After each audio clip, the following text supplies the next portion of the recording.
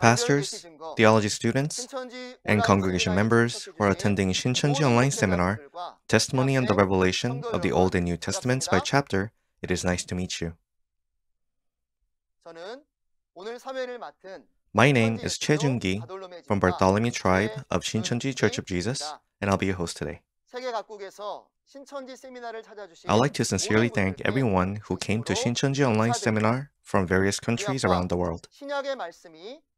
I hope it will be a time of receiving God's grace as you perceive the true meaning of the Bible through this seminar, which openly testifies to the words of the Old and New Testaments. Before we hear the testimony, let us first offer up a prayer to our Father God with a grateful heart. Our Father God, the Creator of all things, we truly thank you. We give you all thanks and glory for allowing us to have Shincheonji Online Seminar testimony on the revelation of the Old and New Testaments by chapter, and allowing perception to all the believers around the world regarding the will of God and Jesus and heaven. Many believers have come gathering to this precious seminar at this time from many parts of the world.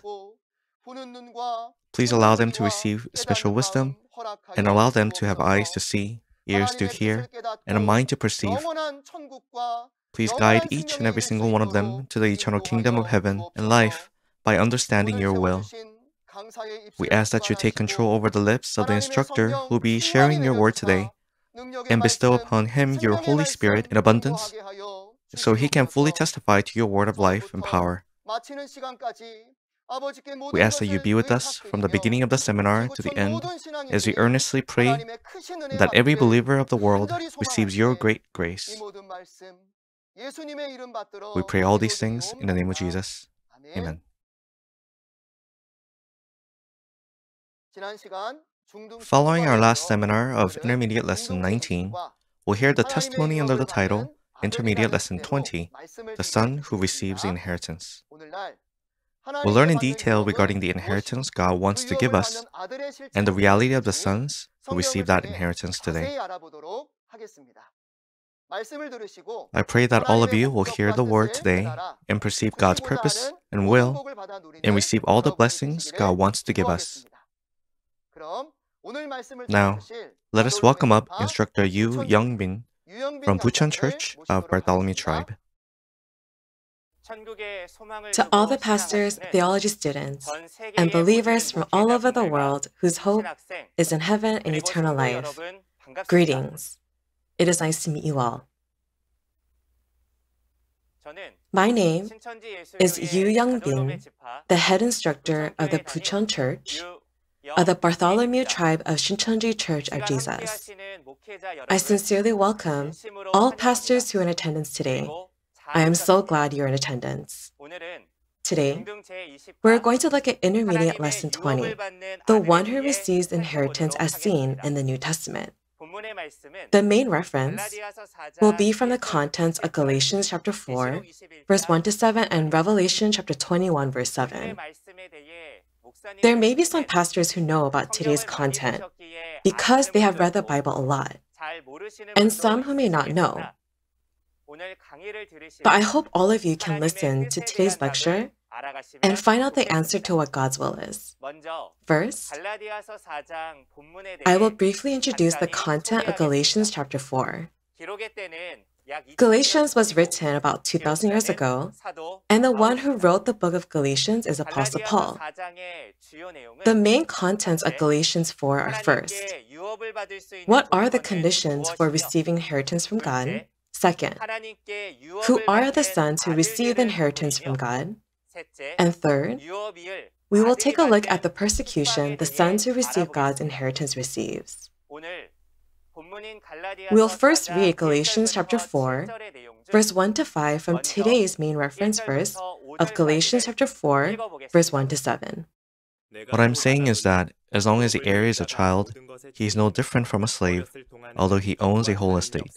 He is subject to guardians and trustees until the time set by his father. So also, when we were children, we were in slavery under the basic principles of the world. But when the time had fully come, God sent His Son, born of a woman, born under law, to redeem those under law, that we might receive the full rights of sons. God said, as long as the heir is a child, he is no different from a slave. Although he owns the whole estate, we were in slavery under the basic principles of the world. But when the time comes, they will receive the full rights as sons. Then, what are the conditions to become a son and receive inheritance from God? It is to fight and overcome Satan as seen in Revelation chapter 21, verse 7. Why would one have to fight and overcome Satan to receive God's inheritance? First, let's examine God's position and reality through the events of Adam in the history of the Bible. In Genesis chapter 1 and 2, God created man in his image and likeness. It is said that God formed the man from the dust of the ground and gave life to him and became a living being. This man is Adam. And God entrusted the heavens and the earth to Adam, commanded Adam to rule over and take care of it. And Adam, who started with the Spirit, will be the first to receive God's inheritance. God made a covenant with Adam that he may eat from any tree in the garden, but not from the tree of the knowledge of good and evil. However, Adam and Eve broke the covenant through the deception of Satan, that is, the serpent, and all creation has been taken away by Satan. Therefore, Adam, who started with the spirit, returned to the flesh, and all his inheritance was taken away. At the first coming, in Luke chapter 4, verse 5 to 7, it is said that all the kingdoms of the world were handed over to the devil. And according to the words of Revelation, chapter 18, verse 2 to 3, and verse 23, which is a prophecy at the time of the Lord's second coming, it is said that all nations have fallen from the wine of adultery and are married to the devil. Then doesn't this mean the devil has been ruling over the nations for 6,000 years? Just like how God gave all things to Adam as inheritance. What was God's heart like when all nations and everything God has created were taken away because of Adam's sin? I am sure all of you have experienced losing what is valuable to you. How did you feel at that time? Didn't you desperately want to get it back? God didn't lose what just was a little item. He lost all creation. Wouldn't God want to get back what he lost with a desperate heart? So, what must God do to get back all creation that was taken away? In Revelation 20, verses 1 to 3, God said that he would seize the dragon and lock him up in the abyss. Isn't it only when Satan, who has taken away the world, is seized, that God can finally regain what was taken away? However, just because this promise exists does not mean that Satan will go into the abyss on his own. To capture Satan, there must be a war, and the war must be won. If we don't fight and win, wouldn't it be impossible to restore the entire world? So Jesus fought and overcame the devil and he promised victory on this earth as well. In Revelation chapter 12, verse 9 to 11, the male child and the brothers fought and were victorious over the dragon with the blood of Jesus and the words of their testimony. It is said from this time on that now have come the salvation, the power, and the kingdom of our God. And as it is in heaven, through the victory here on earth, the kingdom of God will be established, and all creation that was taken away will be restored. Therefore, those who inherit God's inheritance will be those who fight and win against Satan, and the de devil and take back all creation that was taken away. Jesus promised in Revelation chapter 3 verse 12 that the name of God, the name of the holy city, the New Jerusalem, and the new name of Jesus will be written on him who overcomes. And he said that he will make the him overcomes the Son of God.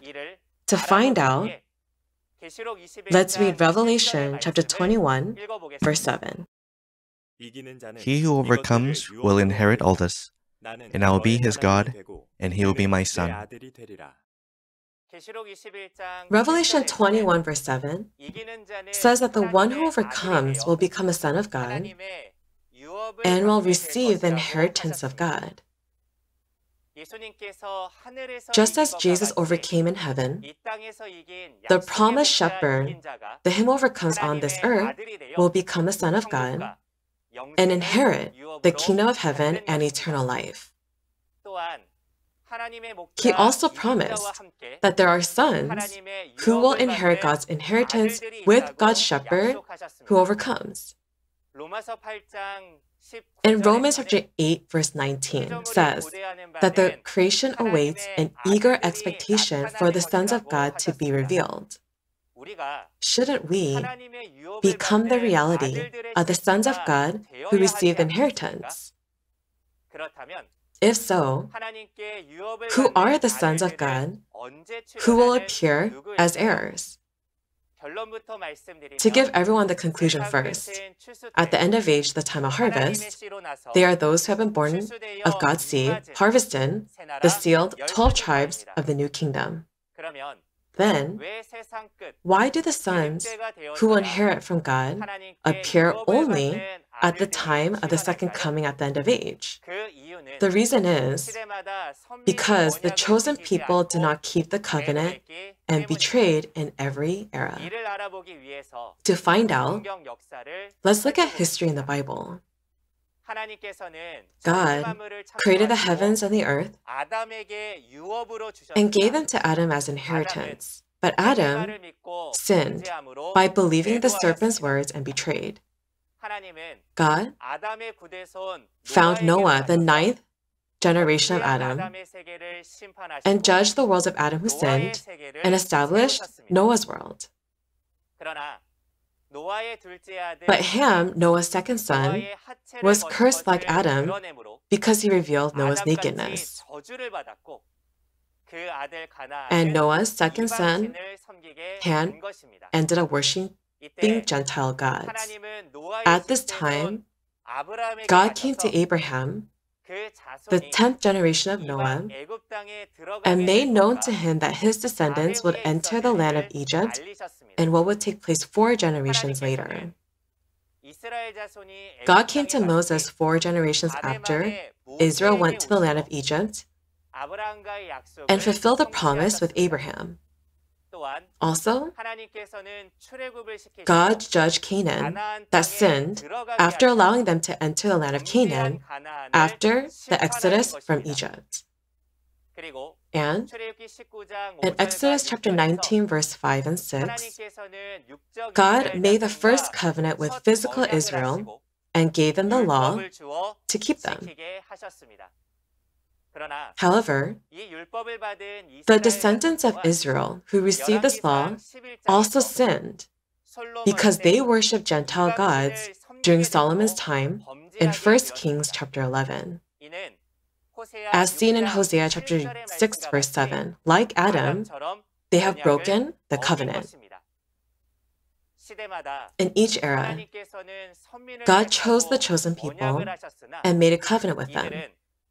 But because of their betrayal, they could not receive God's inheritance.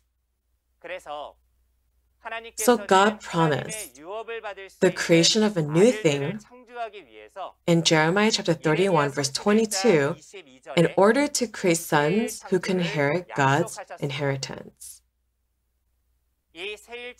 God prophesied that he would sow two kinds of seeds and make a new covenant for the creation of this new thing. Let's read Jeremiah chapter 31, verse 27, the prophecy about the sowing of two seeds for the creation of a new thing. The days are coming, declares the Lord, when I will plant the house of Israel and the house of Judah with the offspring of men and of animals. About 2,600 years ago, in Jeremiah chapter 31, verse 27, God prophesied that two seeds would be sown for the creation of a new thing. This was fulfilled through Jesus about 600 years later. In Matthew chapter 13, verse 24 to 30, God sowed the good seed, that is God's seed, in Jesus' field, that is, the church of Jesus.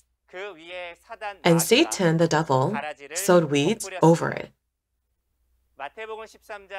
The good seed we saw in Matthew chapter 13, verse 37 to 39 are those who have been born again by the word of God, that is, the sons of God.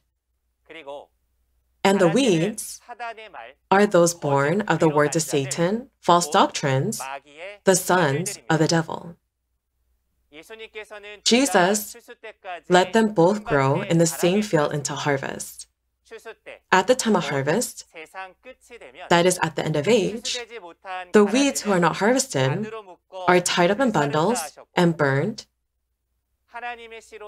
and the wheat, the sons of God, born with God's seed, are harvested to the barn. Then, among those born of these two seeds, who will be the ones to receive inheritance from God? In Galatians chapter 4, verse 1 to 7, it is said that even a son who will inherit God's inheritance will be subject to guardians and trustees until the appointed time. This appointed time will be the harvest time mentioned in Matthew chapter 13. To be harvested at the time of harvest is to obtain the right to be a son at the appointed time. But those who are born of the devil's seed and remain in Jesus' field without being harvested are those who are enslaved under guardians and trustees and cannot inherit God's inheritance.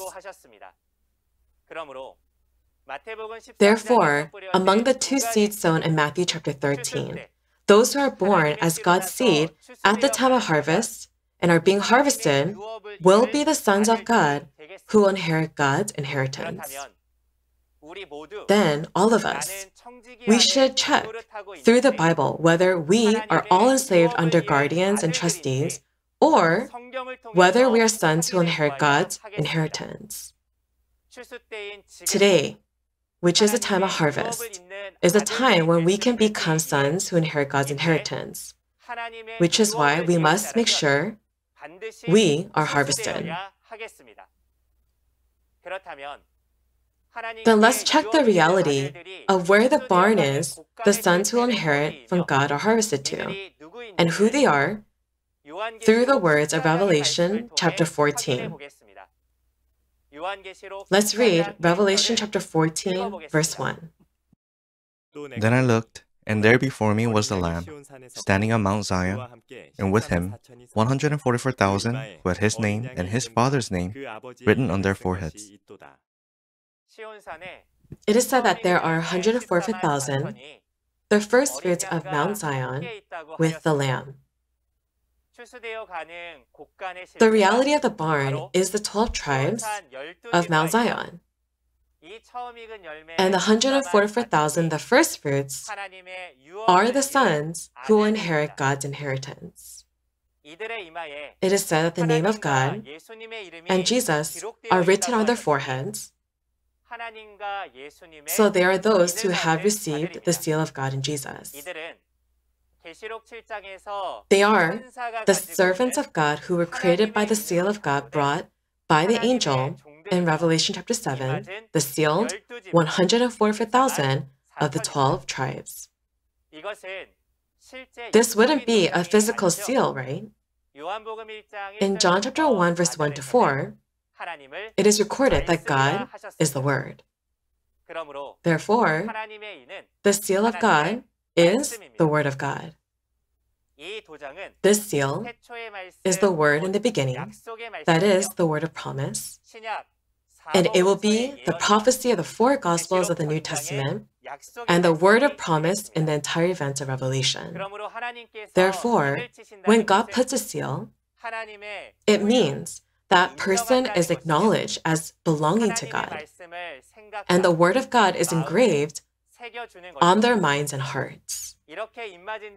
The number of those who are sealed will be from the sealed 12,000 from each of the tribes of Israel, the sealed 144,000 from the 12 tribes. As seen in Revelation chapter 1, verses 5 and 6, and Revelation chapter 5, verse 9 to 10, they are the kingdom and priests purchased by the blood of Jesus, whose sins are atoned, and they will become those who have fully mastered the will of God. Also, in Revelation chapter 7, verse 9 to 14, there is a great multitude in white who come out from the great tribulation, washed by the blood of Jesus. And there are those whose sins have been atoned as well. 2,000 years ago at the first coming, Jesus took up the cross and shed his blood for the forgiveness of sins. The blood of Jesus was able to overcome the devil and take away the sin of man. So, as we saw in Luke chapter 22, verse 14 to 20, Jesus established a new covenant with the blood of Jesus. This is the fulfillment of the prophecy of Jeremiah chapter 31, verse 31. When and for whom was the blood of Jesus shed for? It was shed for the creation of the 12 tribes of the Father's kingdom at the time of Revelation fulfillment. With Jesus' blood, the 12 tribes of the kingdom of God were established as seen in Revelation chapters 1, 5, and 7. Therefore, they are the kingdom of priests purchased by the blood of Jesus and the great multitude in white. They are the sons of God who receive God's inheritance, who appear at the time of revelation fulfillment. And they are God's people purchased by the blood of Jesus that was shed 2,000 years ago. In an era of faith that is like an immature child, the believers would just say under the steward, you just have to believe in Jesus to be forgiven and saved. You're already an heir.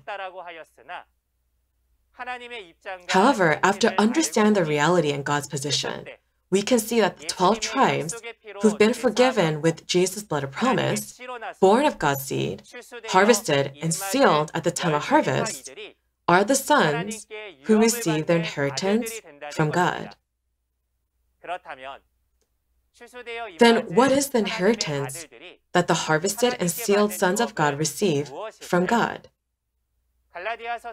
Let's read Galatians chapter 4, verse 6 to 7. Because you are sons, God sent the Spirit of His Son into our hearts, the Spirit who calls out, Abba, Father. So you are no longer a slave, but a son. And since you are a son, God has made you also an heir. It is said that God will send the Spirit of His Son into our hearts at the appointed time. So the Spirit of His Son will be the Spirit of Jesus. After that, He promised that you will no longer be a slave, but a son, an heir through God. This appointed time is the fulfillment of Revelation. So, in Revelation chapter 3, verse 20, Jesus promised he will come in a person and be with the person. What is the inheritance of the sons of God? With the Spirit of Jesus receives. In Romans chapter 8, verse 9 to 11, because it says that he will send the Spirit of the Son of God to give life to mortal bodies, what he promised is eternal life. Also, he said in John chapter 3 verse 1 to 6 that the sons of God who have been born again of water and the Spirit can enter the kingdom of heaven. Therefore, what God gives is the Spirit of Jesus And the inheritance that the sons of God receive is the kingdom of heaven and eternal life. We will learn more about this in Revelation chapter 21. In Revelation chapter 21 verse 7, it is said that those who overcome become sons of God and inherit God's inheritance. Then, where are the heirs? As we saw in Revelation chapter 21 verse 1 to 6, it is the new heaven and new earth created after the first heaven and first earth have passed away. The holy city of New Jerusalem is coming down to the new heaven and new earth. The holy city that is coming down is the kingdom of God in the spiritual realm, made up of God, Jesus, and the 12 martyred disciples. Because this heaven and God are with us at New Heaven, New Earth, there will be no more death, and there will be no more mourning, crying, or pain. You will inherit eternal life. Similarly, God promised that those who fight and overcome the devil will become his sons and will receive inheritance. As we saw in Revelation chapter 3 verse 12, the name of God, the name of the holy city, New Jerusalem, coming down from heaven, and the new name of Jesus will be written on the him overcomes. God, Jesus, and the kingdom of heaven are coming down to the him overcomes. Isn't this how one can receive the inheritance of heaven and eternal life. According to this promise, in Revelation chapter 12, the male child and the brothers fight and overcome the dragon, and from this point on, the kingdom of God, salvation, and power will come. In other words, the reason God gives inheritance to the him overcomes is because he wins the battle with Satan and thus recovers everything that was taken away. The 12 tribes of New Heaven, New Earth in Revelation 21, which was created through the him overcomes, are the sons of God who inherit the heavens and the earth, and all things from God as they are made by the blood of Jesus and the seed of God. They are those who overcome, gathered at the temple of the tabernacle of the testimony in Revelation 15 after fighting and being victorious over the beast. God doesn't give his inheritance to strangers or other people. But isn't it natural for God's sons to inherit it? Therefore, our true hope and purpose is to become God's beloved children, and as His children, enter the Father's kingdom, heaven, and live together forever. Therefore, we want to be born of God's seed, who receive the atonement of sins through the blood of Jesus, and become the sealed 12 tribes, the people of the kingdom of heaven, and become the sons of God as heirs. However, God said that there will be persecution for the son who will inherit God's inheritance. Who is the one who persecutes the son of God's inheritance? To find out, let's read Galatians chapter 4, verse 29. At that time, the son born in the ordinary way persecuted the son born by the power of the Spirit. It is the same now. It says here that those who are born of the flesh will persecute those who are born of the Spirit. To understand this in detail, let's first look at Galatians chapter 4, verse 21 to 24. In Galatians chapter 4, verse 21 to 24, it is said that Abraham had two women, and this is to be understood figuratively. This is borrowing the historical content of Genesis chapter 16 and Genesis chapter 21. Through their relationship, let's look at who persecutes the son who will inherit God's inheritance. Abraham had two women. Sarah, Abraham's wife, and Hagar, Sarah's slave woman. God promised Abraham that he would give him a son through Sarah. However, when there was no son, Abraham gave birth to a son through Sarah's maid, Hagar, who was Ishmael. After that, Abraham had a son, Isaac, through Sarah, just as God had promised. Therefore, it can be said that Ishmael was born according to the flesh, and Isaac was born according to the promise. Ishmael, who was born of the flesh, mocked and persecuted Isaac, and according to God's will, Hagar and Ishmael were expelled.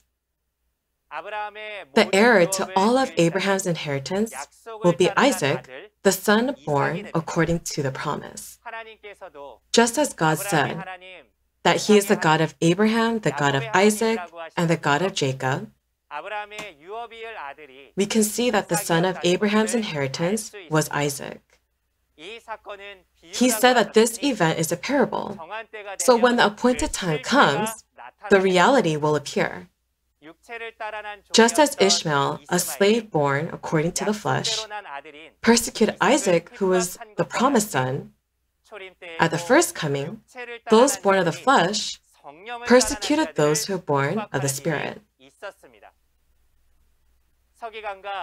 The church members belonging to the scribes and Pharisees persecuted Jesus, who was born of the Spirit, and the 12 disciples who were born again through the revelation of Jesus. Just as Ishmael thought that he was Abraham's eldest son and heir, the scribes and Pharisees also believed that they had faith in going to heaven.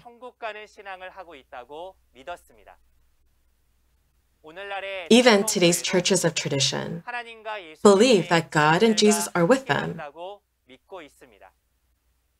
However, today, when the New Testament is fulfilled, the corrupt traditional churches, which is the reality of those born of the flesh, also persecutes the him overcomes and the 12 tribes of Shincheonji, those who are born of the Spirit. I don't think there's anyone who hasn't heard the persecution of Shincheonji. Four Shincheonji members even lost their lives due to severe persecution and forced coercive conversion programs. In John chapter 15, verse 18 to 19, Jesus said that if the world hates you, you must know that it hated me first.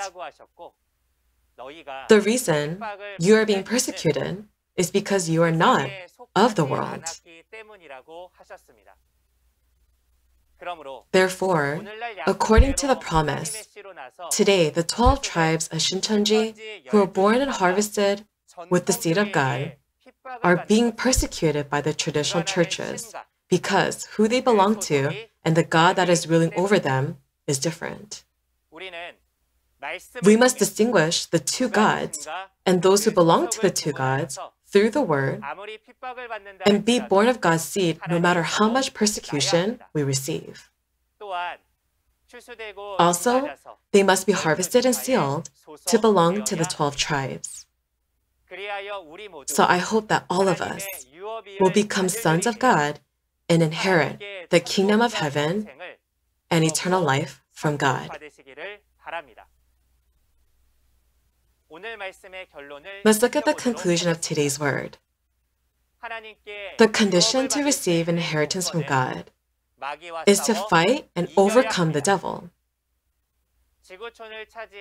God can rule over the world and receive it as inheritance only when we fight and are victorious over the devil who has taken over the world and seized the devil. At this time, the churches of tradition, the first heaven and first earth, will come to an end, and the 12 tribes of the new heaven, new earth will be created through the him overcomes, who fights and overcomes the dragon, and they will become the sons of God, who will receive inheritance. Therefore, The sons who receive God's inheritance are those whose sins are atoned by the blood of Jesus and are the 12 tribes that have been harvested and sealed by God's seed. Wouldn't this be the most blessed time if these people can recover everything that was taken from Satan in 6,000 years and receive God's inheritance? Therefore, I hope that all of us believe in the promised shepherd who testifies to the reality of the fulfillment of the book of Revelation and become the reality of this blessing by being born again with the word of revelation. Next time, a more skilled instructor will come and testify to the next lesson titled Intermediate Lesson 21 Persecution and Victory of Shincheonji. I hope that you will come with a heart of anticipation and have a precious time to understand the Word of God. Lastly, we will end with a powerful shout of We Are One to show that we have become one in the revealed faith with God and Jesus. We are one in God, in Jesus, and in revealed faith. We are one. Let's all pray together and end for today. God the Father, who is the source of all life and blessings, we thank you. We give thanks and glory to you for allowing the Shincheonji online seminar on the testimony on the revelation of the Old and New Testament by chapter to take place. Today, we looked at the Word of God Intermediate Lesson 20, the one who receives inheritance as seen in the New Testament. Please grant all the participating pastors, theology students, and congregation members the eyes to see, the ears to hear, and a heart to understand. Through the word you have given us today, help us to qualify as a son who will receive the inheritance of God and guide us so that we will not lack in any way of receiving inheritance of heaven and eternal life. Also, please grant the most precious blessings from heaven to all who participated today and help us to make all the things that you plan to prosper in the will of God and the Word of God. Today, I give thanks and glory to the Father who has granted me the word of life. And I pray all this in the name of Jesus, the giver of all life.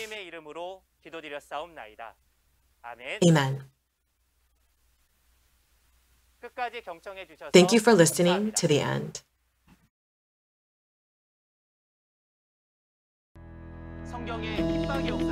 We can see from the history of persecution written in the Bible that there are two kinds of spirits in the world. Jesus made known in John 16, verse 1 to 4, that God's people will suffer sacrifices. From this, we can understand the reality of those who persecute and those who are persecuted. We must understand that today's persecution is taking place following the prophecies of the New Testament. Did everyone receive much of God's grace from today's lesson? As we have just seen from the video, we'll hear the testimony of the Word under the title of Intermediate Lesson 21, Persecution and the Kingdom of Victory, Shincheonji. The seminar will start at the same time as it did today, so please do attend and confirm where God's kingdom promised in the Bible is and enter the kingdom of heaven, which is our hope. Shincheonji Online Seminar, Testimony on the Revelation of the Old and New Testaments by Chapter, is being broadcast around the world via Shincheonji's official YouTube channel. Even as we speak, countless theology schools and pastors are requesting to sign MOU with Shincheonji, with the continued encouragement of all those who have been thirsty to hear God's word. The door to Shincheonji is always open wide. If you have any questions about today's lesson, Shincheonji Church of Jesus, or the Revealed Word, please call the number on the screen to ask your questions. We'll make sure to guide you kindly and in detail. Now, as we offer up all thanks and glory to God who allowed us to receive His Word, we'll conclude today's seminar with the Lord's Prayer. Let us pray. Our Father in heaven, hallowed be your name. Your kingdom come, your will be done on earth as it is in heaven. Give us today our daily bread. Forgive us our debts as we have also have forgiven our debtors. Lead us not into temptation, but deliver us from the evil one. For yours is the kingdom, the power, and the glory, forever and ever. Amen.